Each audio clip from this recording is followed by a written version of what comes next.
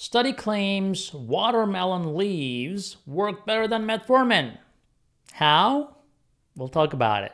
Hey there, my diabetic health enthusiasts. Ever look at a watermelon and think, hey, you're just a big bowl of sweetness, aren't you? Well, get ready because today, I, me and myself, Dr. Ergin, your endocrinologist, will talk to you about ditching the sweet juicy fruit and going for the leaf. Yes, you heard me right. We are talking watermelon leaves, the unsung heroes of watermelon world. The new research says that these little green wonders might just be the next big thing in the diabetes world. So put your seatbelts because I'm gonna get you dive in into the sciencey stuff. It turns out that these leafy wonders can do some serious damage control on biochemical parameters and structural changes in your kidneys, your liver, they're all associated with diabetes, right? In a surprising twist, they were even more effective than metformin, a common diabetes medication. So, what is the takeaway? In a first of its kind study, this data showed that the watermelon leaf extract could give a serious one two punch to those pesky diabetes changes.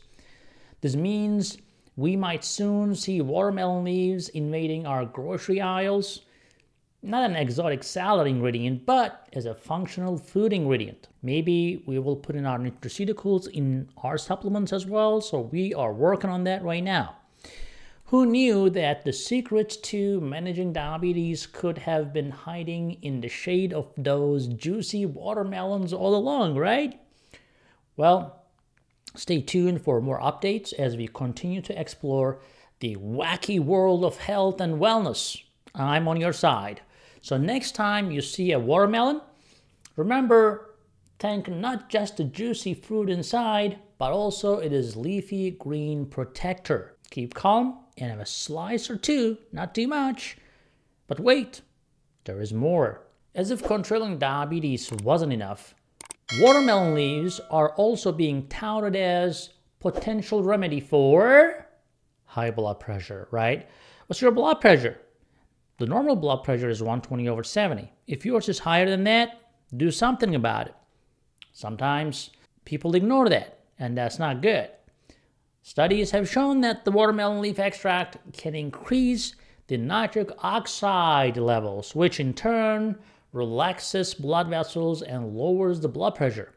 So, not only are we getting a delicious summer treat, but also a natural way to keep our hearts healthy. Remember the leaves, not just the fruit. Before you start chomping down watermelon leaves, make sure to consult with your doctor first. You know, who knows? If your doctor knows anything about holistic medicine or functional medicine, by the way. But watermelon leaves seem to hold a lot of promise. We definitely need more research to fully understand its effect on the body and potential interactions with anything. But let's be real, it is food. Yeah, it can't be too hot, right? It is food.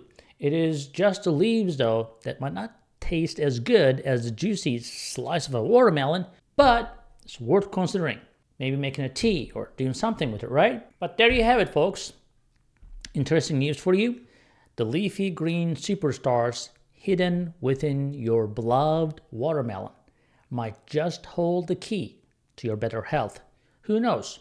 Maybe one day we will see watermelon leaf smoothies or salads as a common menu item at our favorite restaurants. Until then, let's keep an eye out for any new developments and continue to appreciate watermelon in its all forms, including the fruit, the leaves, and everything. Now, comes a million dollar question where on the earth can you get your hands on the watermelon, right? Or watermelon leaves, not the watermelon, of course, because they don't sell the leaves. Well, hold on to your hats because this is going to be interesting.